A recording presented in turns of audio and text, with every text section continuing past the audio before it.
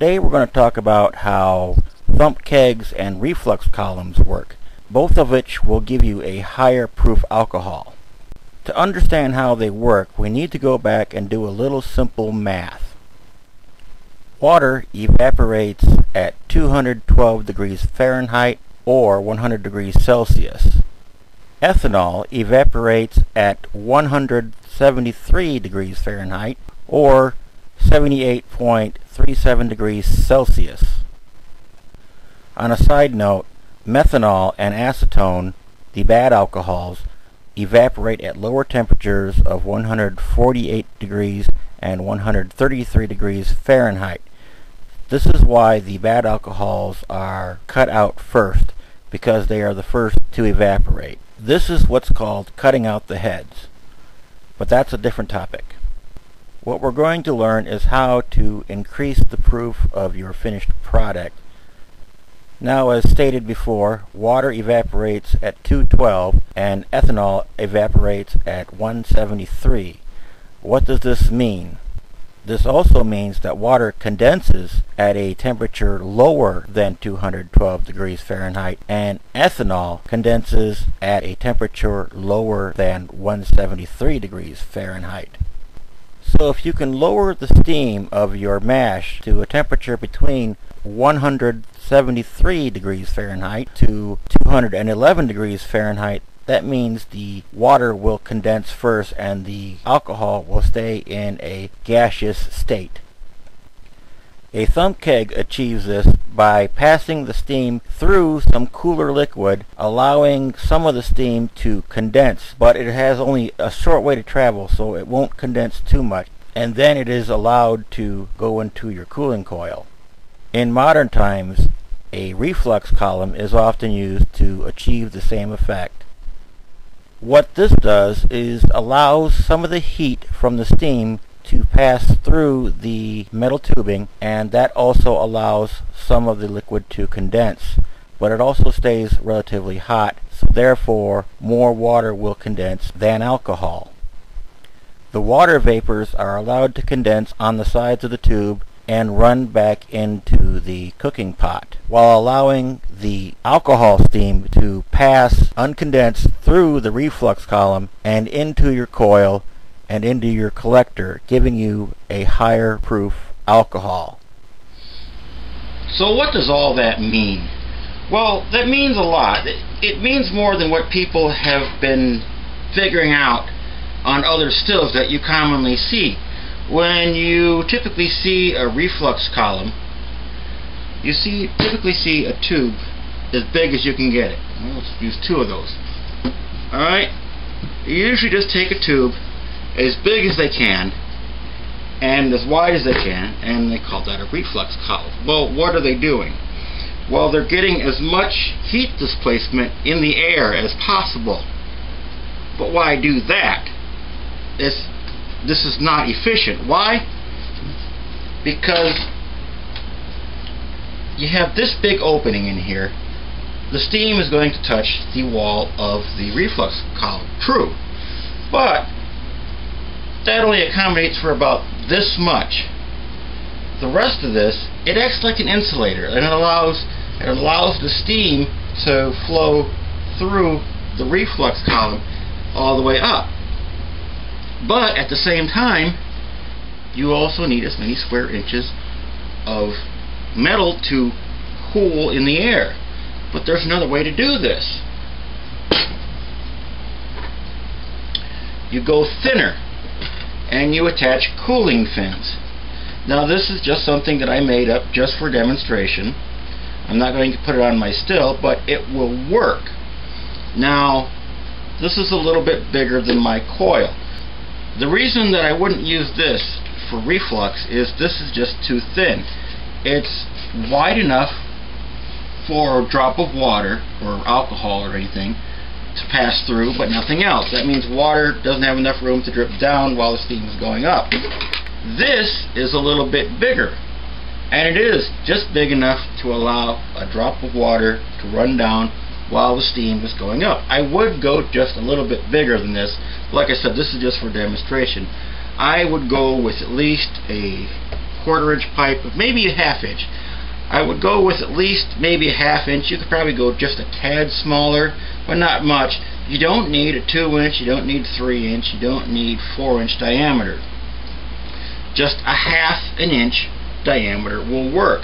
And you don't need it tall. All you have to do is keep it cool. Now I've managed to solder on these cooling fins here.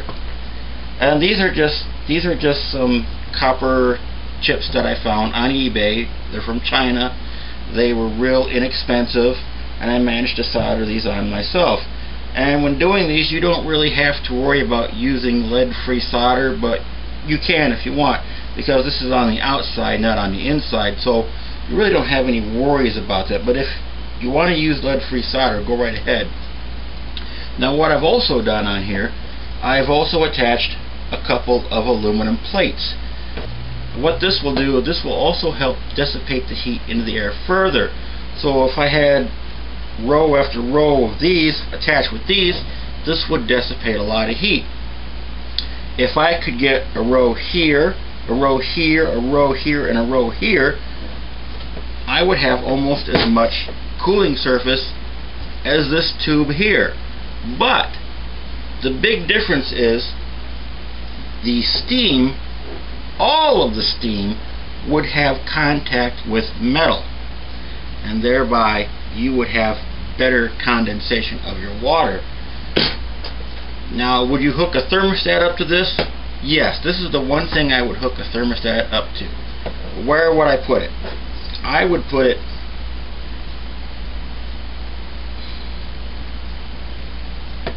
I would put it right here.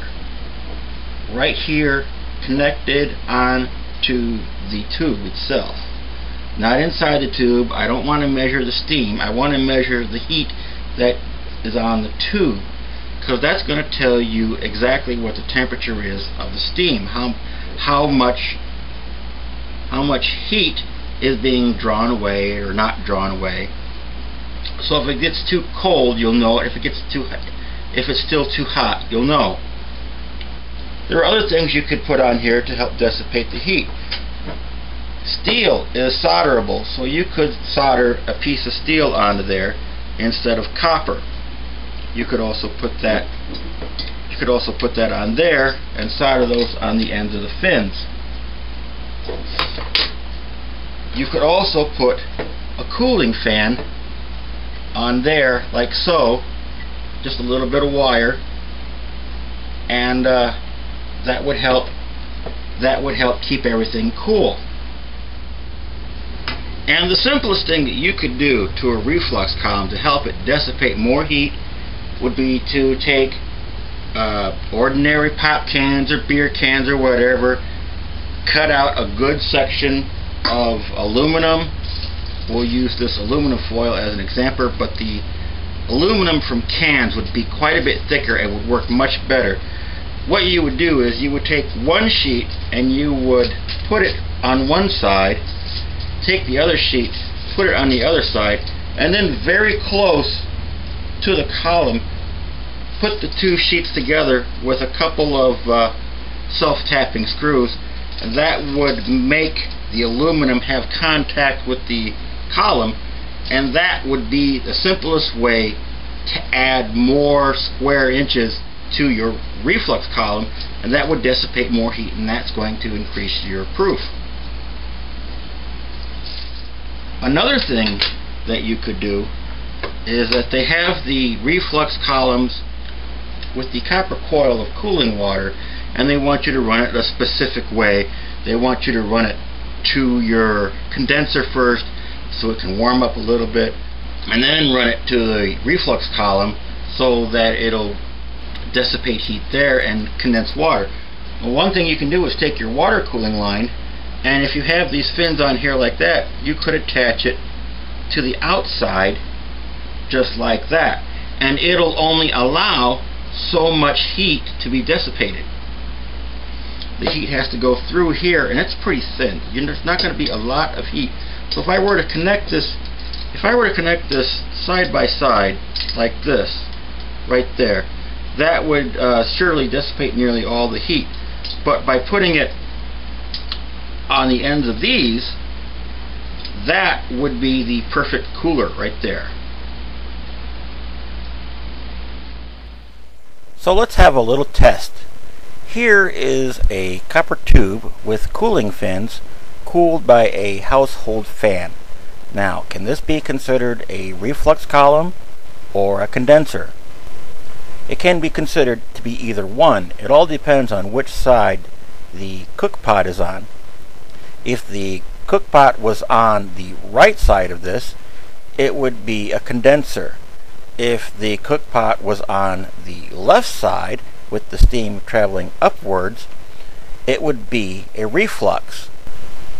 So let's expand this picture a little bit so you can better understand what I'm talking about. Now here we have one piece of copper with cooling fins on it and it's at both angles. Is it a reflux or is it a condenser? It's both. It doesn't matter which side the steam comes into. The steam comes in and has to go uphill and would slowly be cooled. And any condensation in there would be allowed to drip back into the still pot. It would then travel into the second half, running downhill, cooling the mixture further and that would condense into the final product running into your container. So let's try one more. Does this still have a reflux column or a thump keg on it? It's a trick question. While the still does have a thump keg on it, if the thump keg were dry, being that everything is made out of copper, it would all act as a reflux column because it would allow heat to dissipate into the air, much as a reflux column would do.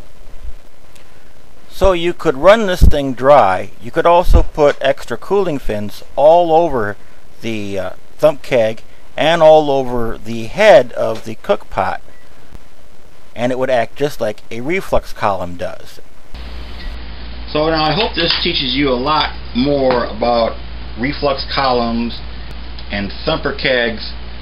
And I suspect that in the future, having seen this information, you're going to see a lot of changes in the future on reflux columns on stills that you can buy.